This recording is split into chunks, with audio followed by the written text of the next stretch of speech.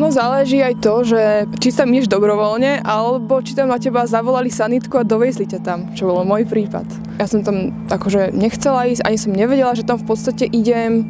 Jednoducho prišla sanitka, zobrali ma tam a zrazu som tam bola a nevedela som, kde som. Tam som prišiel 19. januára. Chladno bolo, dokonca bol napadnutý sneh vonku. A čo si pamätám, tak nesnežilo, ale bolo tak mrholilo tak si chravo bolo. To počasie vlastne opisovalo moju dušu alebo moje pocity, chladno a zima.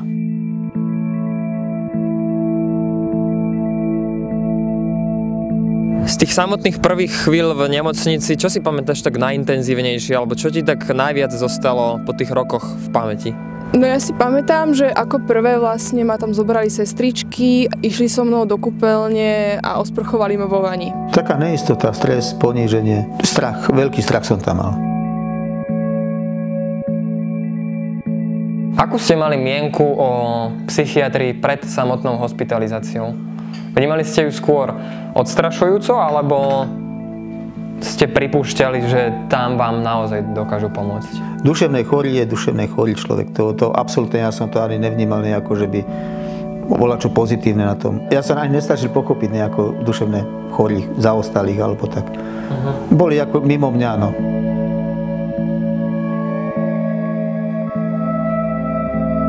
Môže ochrieť kdokoľvek. Na to, aby vznikla duševná choroba, musia byť v podstate aspoň tri komponenty a to nejaký biologický základ, genetická výbava a rôzna úroveň stresu psychologického, sociálneho, prípadne ešte nejaké telesné ochorenie, ktoré môže vyprovokovať duševnú chorobu. Prišlo vám niekedy na um, že raz sa to môže stať aj vám? Ísť na psychiatriu? Nie, to, to, to som tvrdo odmietal, nie. nie. Hoci mi to bolo naznačované niekoľkokrát, že teda daj sa liečiť, alebo máš problémy. Nie, nie, to som odmietal tieto veci. Ja som si v podstate ani vôbec nepripúšťala, že by som sa mala niekde liečiť. Ako vedela som, že mám nejaký problém a že nie som asi úplne v pohode, ale toto nebola pre mňa taká cesta. Pokiaľ vznikne taká vážna duševná choroba, tak pacient, ale aj hlavne okolie, rodina je z toho vydesená. Tá reakcia na to je podobná ako pri iných ťažkých okoreniach. Hlavne snaha neveriť, že sa jedná o duševnú chorobu, popreť to a to prijímanie tej duševnej choroby je dosť dlhodobý proces. Niekedy je pacient nedôverčivý voči celému okoliu a je veľmi ťažké, keď pacient si sám nemyslí, že má psychické ochorenie, jeho okolie to vidí, vidí to jeho rodina a vy ste vlastne na tej strane tej rodiny, lebo vy ste ten, kto ho lieči, k tomu hovorí, že musí brať lieky a je chorý.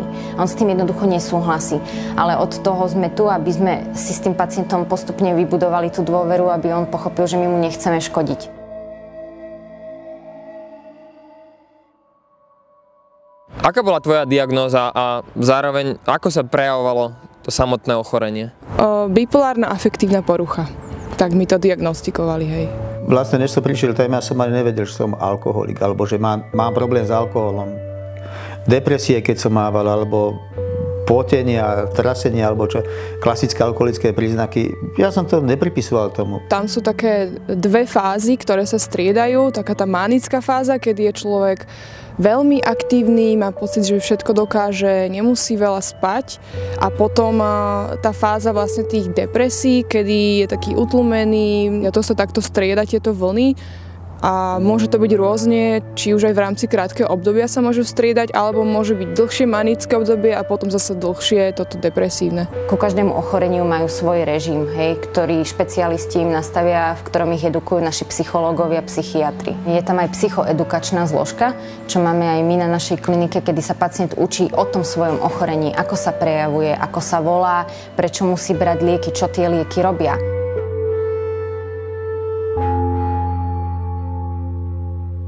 Prišlo ochorenie náhle, alebo sa skôr tak zbieralo v čase a postupne si vnímala, že sa asi niečo deje? Podľa mňa to bolo také postupné. Že ja som bola asi skôr vždy taký introvert a veci som si nechávala pre seba. A to, čo ma trápilo, som nehovorila rodičom alebo druhým ľuďom, ale som to tak v sebe všetko vnímala. Myslím, že to boli skôr tak tie okolnosti, že že nevedel som ako ďalej. No, práci tam teda už ma prestával tak tolerovať. Syn dospieval a ten ma úplne začal ignorovať to. On, on sa so mnou aj nebavil. Či som bol triezvy alebo napitý. Cera tá tiež tak, ne že povyšenecký, ale tak bolo cítiť, že aj by, ale nechce, že taký odstup mala odo mňa. No a manželka tak to bolo také, tiež také chladné, no a cítil som sa stále taký odmietaný a vlastne aj potom už sám som si uvedomoval, že som nedokončoval veci, že, že bol taký, taký neschopný a preto som vlastne chcel tú zmenu. No. Aj s tým, že by som rodinu opustil, ale tú zmenu som chcel akúkoľvek.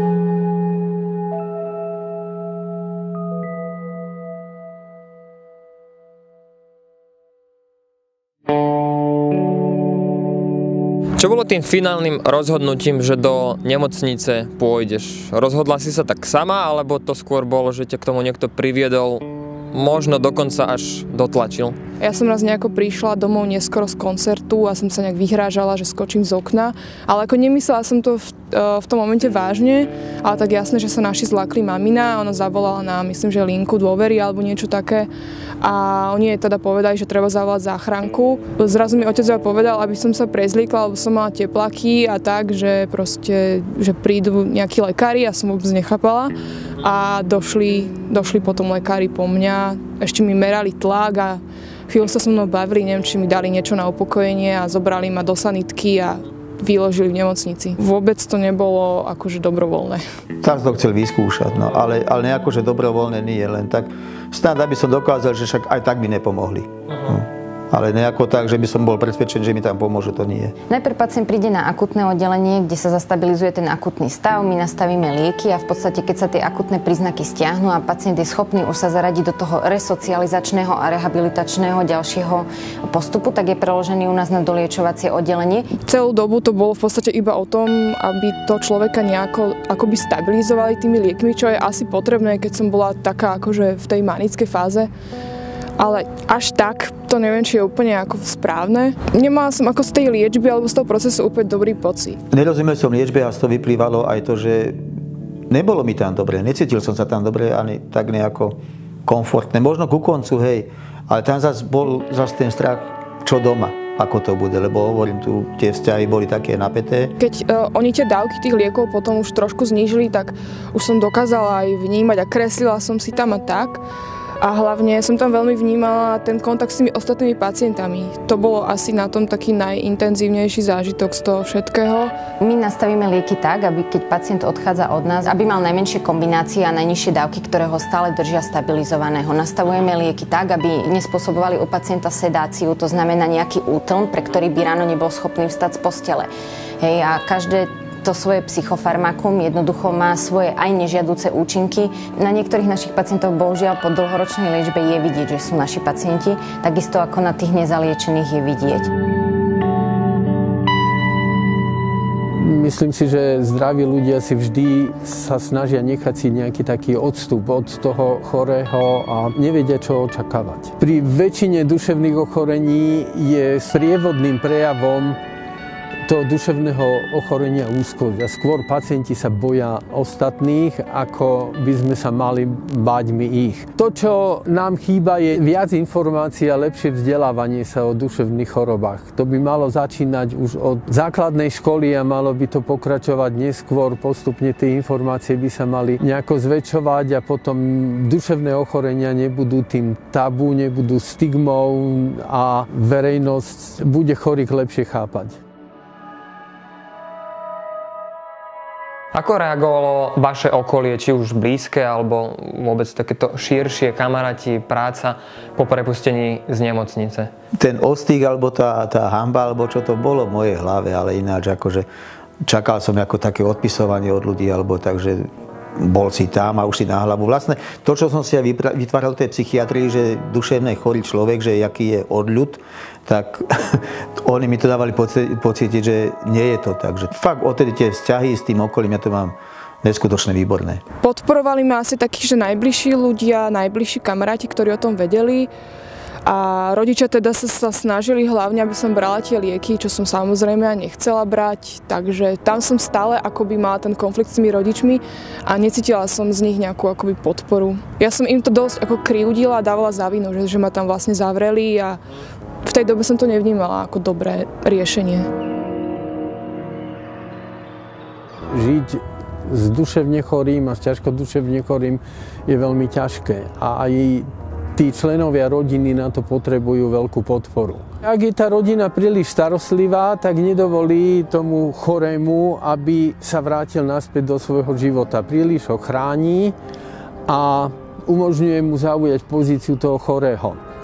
Takže sa nevracajú jeho normálne sociálne zručnosti, ktoré stráca častokrát počas ochorenia. Dôležité je, aby sa človek ktorý trpí duševnou chorobou, naučil žiť s ňou. Tak ako niekto, kto má poškodenú nohu, sa naučí žiť s nejakou protézou alebo istým spôsobom si tú nohu šetriť, tak aj duševne chorí sa musia naučiť žiť s tou chorobou, vedieť o nej, vedieť, čo si môžu dovoliť, čo si už nemôžu dovoliť a vtedy sú schopní vrátiť sa do života. Začal som dokončovať veci, ktoré som začal. To bol ten veľký rozdiel, keď som došiel z nemocnice. S manželkou sme začali robiť spoločné činnosti, začali sme si prerábať pomalý dom a teda dala aj na mňa, čo ma strašne tak pozbudzovalo. No a tak sme začali spolu fungovať a deti, keď videli, že teda s mamou fungujem, tak teda začali aj oni a teda akože z cieľu, z cieľu teda to vychádza ohromné a syn takisto, to už je super. Keď nemáte tú podporu rodiny, keď, keď necítite sa byť nimi prijatí, keď možno sú tie vzťahy dlhodobo disharmonické a oni sa nevedia zomknúť ani keď vy to možno najviac potrebujete, tak aj to je niekedy dôsledkom toho, že sa naši pacienti dekompenzujú a že sa znovu vracajú.